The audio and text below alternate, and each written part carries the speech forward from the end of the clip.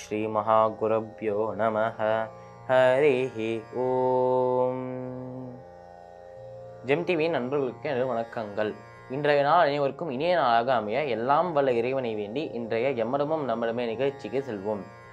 இன்னைக்கு நம்ம வந்து லலிதா தேவி மேலக்க ஸ்லோகத்தை அர்த்தத்தோடு பாடுத்து நேற்றைய தினத்தின் நீதிக்கடையின் தொடர்ச்சியை காணலாம்.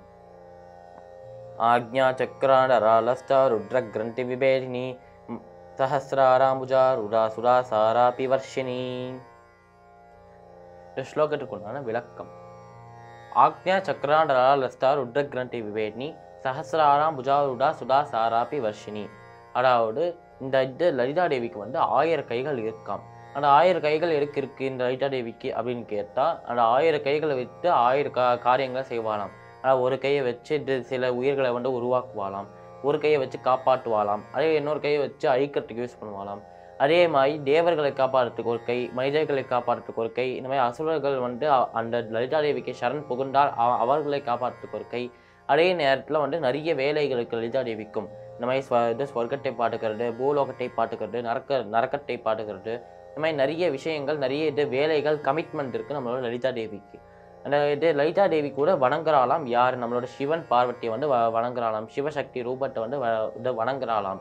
இந்த லலிதா தேவி ஏன் அவா வணங்குறா அப்படின்னு கேட்டால் அந்த துர்கா தேவி அவளோட அருள்நாள் தான் நம்ம லலிதா தேவியை வந்து உருவானா இந்த லலிதா லலிதா தேவி வந்து பண்டாசுரன் அழிக்கிறதுக்கு அந்த சக்தி அந்த ப இது பராசக்தியான பார்வதியின் அருள் அருள் தான் உதவிட்டு அதனால் அப்படிப்பட்ட அந்த இது சக்திக்கு நான் செய்கிற நன்றிக்கரன் இதான் அப்படின்னு சொல்லிட்டு நம்மளோட லலிதா தேவி அந்த சிவசக்தி ரூபத்தை வந்து வணங்குவாளாம். அதுமாதிரி நிறைய விஷயங்கள் செய்யறதுக்காக ஆயிரம் கைகள் இருக்கா நம்ம லலிதா தேவிக்கு. சஹஸ்ராராம் முஜாருடா சுடா சாராபி வர்ஷினி. அதாவது தேனால் ஆன தேன் கடல். அந்த தேன் கடலுக்கு நடுவில் இருக்கலாம் லலிதா தேவி. இந்த லோகத்துக்கு நம்ம போனோம்னா அந்த தேனை வந்து சுவைத்து பார்த்தா ரொம்ப இனிப்பாக இருக்கும். அதுவே அந்த தேனை சுவைத்து விட்டு நம்ம லலிதா தேவிக்கு இப்போ லலிதா தேவியோட ஸ்வரூபத்தை பார்த்தோம்னா அ- அழகான ஸ்வரூபத்தை பார்த்தோம்னா அதை விட இனிப்பாக இருக்குமா நம்ம மனசுக்குள்ள. இந்த மாதிரி நாக்கில் இருக்கிற இனிப்பு வேறு மனசுக்குள்ளே இருக்கிற இனிப்பு வேறு. நாக்கில் இருக்கிற இனிப்பை வந்து ஒரு வாட்டி தான் நம்மளால் சுவைக்க முடியும். அடுத்த வாட்டி சுவைத்தா இதை வந்து திகட்ட ஆரம்பிச்சிடும் நம்மளுக்கு நிறைய வாட்டி சுவைக்க சுவைக்க. ஆனால் நம்ம லலிதா தேவியை பார்த்தோம்னா நம்ம மனசு இனிக்க ஆரம்பிச்சிடும். அது வந்து எவ்வளோ வாட்டி பார்த்தாலும் அது வந்து இனிக்கவே இனி இது திகட்டவே திகட்டாது. அதனால் அப்படிப்பட்ட அழகான சுரூபத்தை கொண்டவள் நம்ம லலிதா தேவி. சுடா சாராப்பி வர்ஷினி. அதாவது நம்மளுக்கு வந்து மழை வேணும்னா அந்த வருஷத்தை அந்த மழையை தருபவள் நம்மளுக்கு உதவி செய்பவள் நம்ம லலிதா தேவி. இந்த ஸ்லோகத்துக்குண்டான விளக்கம் இதுதான் இப்போ நேற்று தினத்தின் நீதிக்கதையின் தொடர்ச்சியை காணலாம். என்ன ஆகுதுன்னா ராஜா ஒரு நாள் தூங்கிட்டு இருக்கா ராத்திரி. தூங்கிட்டு இருக்கும்போது என்ன ஆகுதுன்னா திடீர்னு அந்த ராஜா வந்து தூங்கிறதுக்கு முன்னாடி ராமரை நினச்சிட்டார். தூங்கிட்டே இருக்கும்போது ராம ராம ராமா அப்படின்னு சொல்லிட்டு மூணு வாட்டி கூப்பிட ஆரம்பிச்சிட்டார் ராமரை. இதை கேட்ட உடனே ராணி வந்து தூங்கிட்டு இருந்தா ஏந்துட்டா உற்சாகத்தில் சந்தோஷத்தில் ஏந்துட்டு நாளைக்கே பூஜை செய்யறதுக்கு ரெடி பண்ணுங்க அப்படின்னு வந்து ராணி கட்டளையிட ஆரம்பிச்சிட்டா. ஏன் அப்படின்னு கேட்டால் என்னோட கணவனோட வாயிலேருந்து அந்த இது ராம ராமரோட ஒரு நாமம் வந்தாலே போடும் நான் இந்த மாதிரி திருவிழா ஆக்குவேன் இந்த இது முழு ராஜ்யத்தையுமே அப்படின்னு வந்துட்டு உறுதிமொழி ஏற்றிருக்க முன்னாடி அதை வந்து நான் நேற்றுக்கு சொன்னேன்.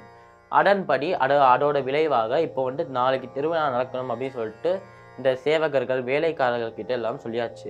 அடுத்த நாள் காலையில் பார்த்தோம்னா நம்ம ரா ராஜா வந்து ஏந்துக்கிறார். நம்ம இப்போ எப்படி அலாரம் வச்சு அந்த அலாரம் அடிக்கும் போது ஏந்துப்போமோ அதே மாதிரி பட்டாசு வெடிக்கும் போது அந்த இது ச சரம் பட்டாசு வெடிக்கும் போது அந்த சட்டத்துலேருந்து ஏந்துக்கிறார் நம்மளோட ராஜா.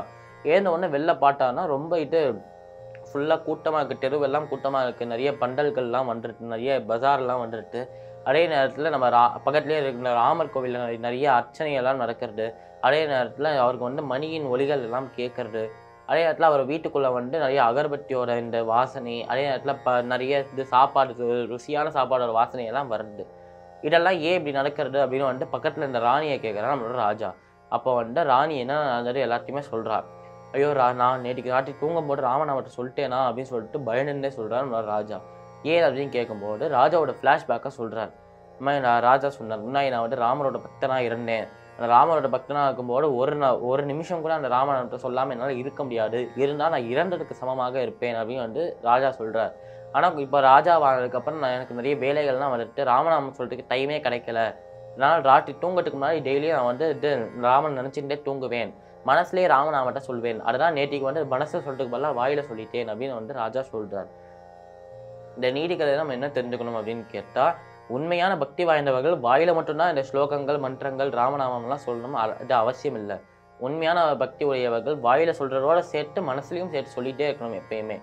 அந்த மாதிரி அவ பண்ணானா அவாதான் வந்து உண்மையான பக்தர்கள். மற்றவா எல்லாருமே வந்து போலியான பக்தர்கள். இந்த நீதி கதையில் நாம் தெரிந்து கொள்ளும் இந்த நீதி இதுதான். மீண்டும் நாளை சந்திப்போம். நன்றி வணக்கம்.